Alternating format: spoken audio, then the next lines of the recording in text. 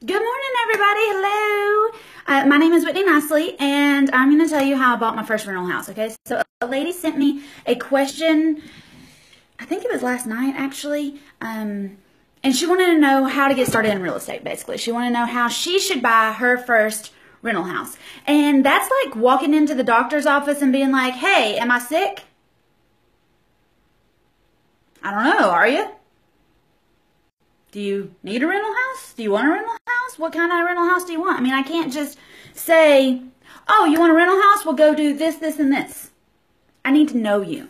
I need to talk to you. I need to ask you some questions. I need to, ugh, this glare on my glasses is terrible. Uh, I need to, like, really understand what your goal is. If you want a rental house and you have a house, then we might be able to rent that one. You might already have a rental house. You just don't know how to flip it okay? Or you might have uh, an inherited house that we could rent. You might have really, really great credit and you might be a banker and then we can just use your connections and buy a house. I think that would be stupid, but we could do it, okay? So what I want to tell you about is how I bought my first house and all the mistakes I made and the stupid reasons I bought this house. Okay, it was ridiculous. So if you want to know if you should buy a rental house, my answer is yes. Should I buy a rental house? Yes. Okay. Um, I think everybody should have five or ten or fifteen rental houses. Whether you're a good manager, that's up to you. Whether you're actually making any money, that's up to you. I, I can't do that. But on the surface, I feel like, I mean, I feel like everybody should have a car. But if you live in New York City, that's probably not a good idea.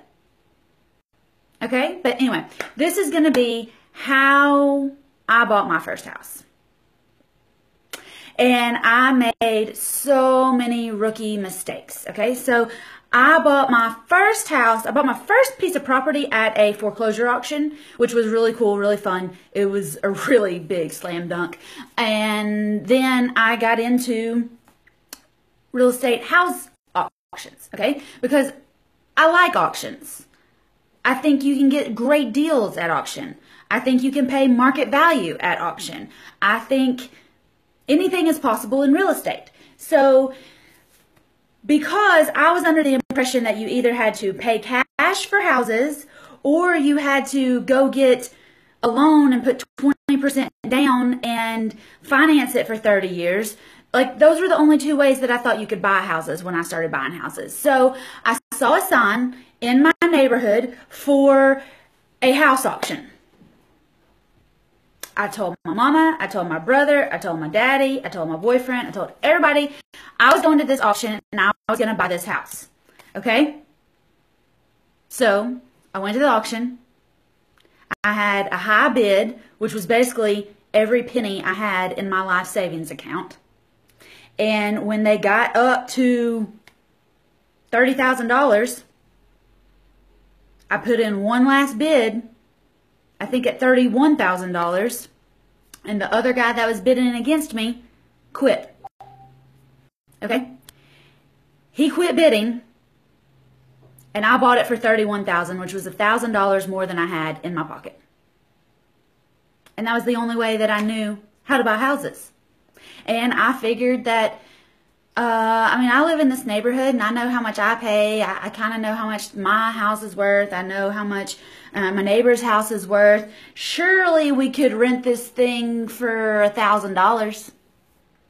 I had no way to check. I had no way to find out if that was feasible. I had no way to find out if that was even going to make me any money. But the only thing I knew was I wanted to buy a house and I wanted to be a landlord and I had this much money and it was in the right neighborhood and I could handle it. Oh my gosh. That is so scary. Like thinking back, I think that was summer of 2012. Thinking back on that terrifies me. Like how anybody could go into a real estate deal and not know what they were going to do and if their numbers were right and if they were going to make any money. Like that terrifies me. And people do it all the time. People do it all the time. They jump into houses that they don't know if they can afford. They don't know if it's going to make any money. They don't know how they're going to get out of it. They don't know how to fix anything. They don't know anything about collecting rent. They don't know how to write a contract. They don't know anything. And they're just like, oh, well, I know a couple guys, they do this. They seem to be doing good, so I can do it. No. Okay. A year later, when I figured out what was going on, I ended up renting that house for $800 and I had no idea about paying taxes and insurance. I guess I just thought I'd pay those out of pocket and not worry about it coming out of the rent. And a year later, I, I knew how to do lease options. I knew how to do owner financing at that point. And we have sold the house on a lease option for $79,000. They do pay me $1,000 a month now. And I got like $8,000 down. We had to extend their lease option deal. I got another 5,000 down and I haven't calculated it yet, but I think like sometime next year I'll have all of my money back. Okay? My initial investment, I'll have all of it back. And I'll be looking at when they get it mortgaged. I think right now they owe me in the high 60s. So I'll make, because I'll get all my money back, so I'll be whole. So when they get their mortgage, I'm going to make like 60 something thousand dollars. And I didn't know that's how it was going to end up when I started it. But it terrifies me now to think that people are out there and they're just throwing good money up in the air and hoping it sticks. This isn't cooking class, okay? You can't just throw a noodle on the wall see if it sticks. You have to know what you're doing. Okay? And that's what I teach people how to do. I teach you how to look at the comps. So look at what's sold in the area, look at the rental rates in the area, look at uh, what you can sell it for, look at how you can buy it. You do not have to put your life savings down to buy a house. You don't have to save up $10,000 so you can buy a $75,000 house because that's 20%. You do not need money. You do not need credit and you do not need a bank to buy houses. Okay. The same guy that I bought the house from at auction those years ago called me last Friday and he was like, Hey, Whit, I got two more houses. You want to come buy them? Yes, I do.